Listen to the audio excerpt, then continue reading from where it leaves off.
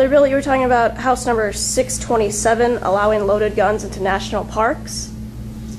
That uh, became law through amendment by Senator Coburn, uh, who placed it on uh, another measure, and that became law when that other measure was signed into law, so it kind of got a free ride as an amendment. And then were you saying that Tim Walz supported or were against that legislation? He he wasn't for it on that,